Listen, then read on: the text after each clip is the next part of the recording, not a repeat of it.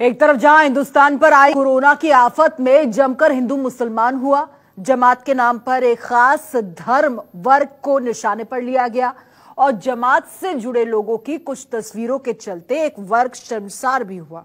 लेकिन अब उसी जमात से जुड़े लोगों ने ऐसी मिसाल कायम की है, ऐसी मिसाल पेश की है कि हर कोई उनकी तारीफ़ करते नहीं, थक रहा। आपको बताएँ, कोरोना से जंग में अब सबसे बड़ा हथियार बनकर उभर रहे हैं जमात से जुड़े सच्चे हिंदुस्तानी, क्योंकि अब जमातियों का रक्तदान बचाएगा हिंदुस्तान। प्लाज्मा थेरेपी देखिए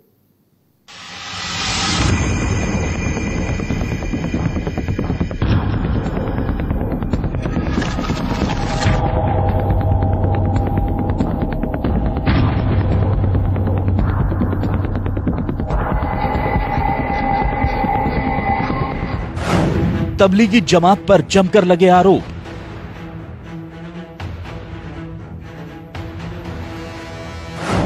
जमात को ठहराया गया कोरोना फैलाने का जिम्मेदार।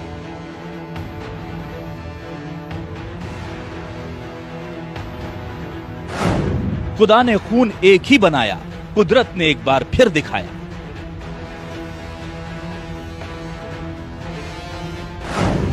जमातियों का रक्तदान बचाएगा हिंदुस्तान।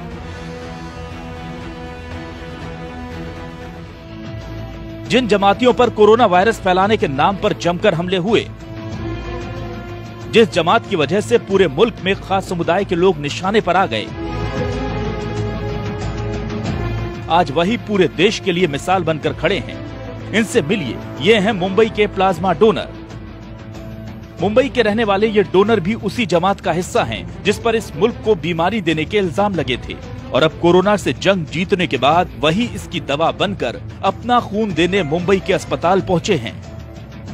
वहाँ से फ़ोन आया नायर से कि आप अगर जो पॉजिटिव पेशेंट अच्छे हो के आए तो उनका है ना प्लाज्मा लेकर जो पेशेंट अच्छे नहीं हो रहे हैं, उनको हम उसमें आपका प्लाज्मा डालेंगे तो ऊपर वाले की दुआ रहेगी तो वो भी अच्छा हो जाएगा। इसमें लिए मुझको बुलाया गया था और फिर जो हमारे अमीर साहब है, तबलीगी जमात के मौलाना साद साहब निज़ामुद्दीन से, उन्होंने इस बात को वायरल किया था कि हर मुसलमान इसमें बढ़ चढ़ के हिस्सा ले और इंसानियत को आगे करे और दूसरों की मदद करे। तो ये सोच के मैं भी गया। पहले दिन मुझको लेकर अपना ब्लड लोगों ने चेक करा कि कोई बीमारी या कोई ऐसी कोई चीज़ तो नहीं है। उसके बाद आज फिर उन्होंने बुलाया, फिर गाड़ी भेजी थी उन्होंने और प्लाज्मा लिया। एक आधे घंटे का प्रोसीजर था, जिसमें चार साढ़े चार सौ एम उन्होंने मुझसे प्लाज्मा लिया। ये शख्स अकेले ऐसे डोनर नहीं। तवरेज भी उन्हीं लोगों में से एक हैं जो अपने जिस्म का खून देकर कोरोना की दवा बनने के लिए खुद चलकर अस्पताल पहुँचे हैं। दिल्ली से ही जमातियों को लेकर विवाद शुरू हुआ था और उसी दिल्ली में तवरेज जैसे लोग लोगों की जान बचाने के लिए आगे आए हैं। एक बार न्यूज़ पर देख रहा था, जिसमें हमारे माननीय मुख्यमंत्री केजरीवाल जी प्लाज्मा थेरेपी के बारे में बता रहे थे और वो अपील कर रहे थे कि जो भी लोग कोरोना नेगेटिव होकर आए हैं, वो अपना प्लाज्मा डोनेट करें और ये थेरेपी सक्सेस हो सकती है। ये खबर सुनने के तुरंत पश्चात मैंने ठान लिया था कि मैं अपना प्लाज्मा डोनेट करूँगा कि और इस प्लाज्मा से अपने किसी हिंदुस्तानी भाई का इलाज हो, इससे ज़्यादा खुशी और गर्व की बात मेरे लिए दूसरी कोई नहीं हो सकती है। दरअसल ये वो लोग हैं जिनके शरीर पर कोरोना का वायरस अटैक कर चुका था। लेकिन बेहतर इलाज और डॉक्टरों की मेहनत का नतीजा है कि ये सब अब इस जंग में जीत हासिल कर चुके हैं। मतलब इनके शरीर में कोविड 19 के वायरस से लड़ने वाली एंटीबॉडीज तैयार हो चुकी हैं।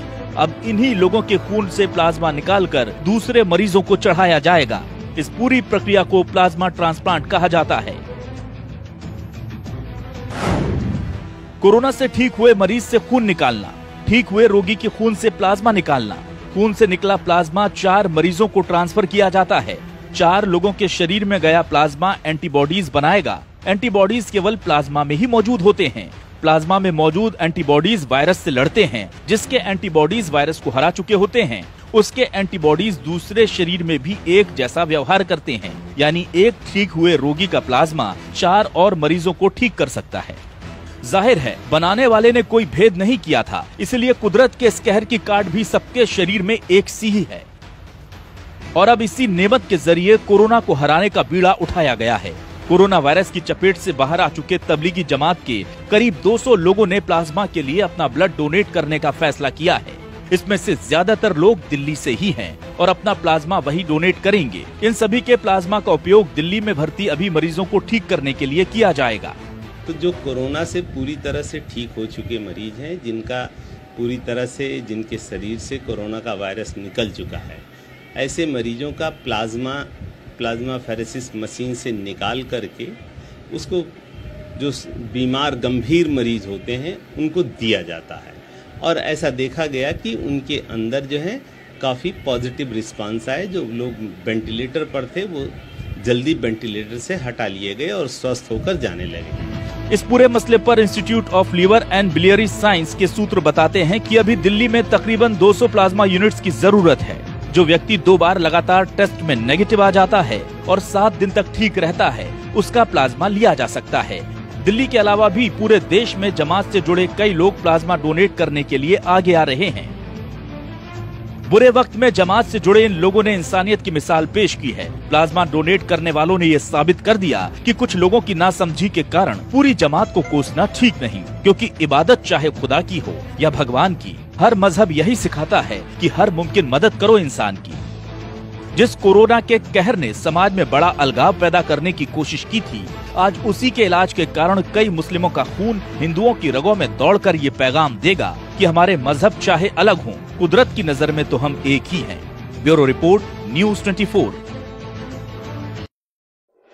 अगर आपको हमारा ये वीडियो पसंद आया हो तो इसे लाइक और शेयर ज़रूर करें। अगर इस वीडियो पर आपकी कोई राय है तो नीचे कमेंट भी कर सकते हैं। और हाँ देश और दुनिया की तमाम खबरों से वाकिफ रहने के लिए अभी सब्सक्राइब करें। न्यूज़ 24 का यूट्यूब चैनल न्यूज़ 24 निष्पक्ष खबरें।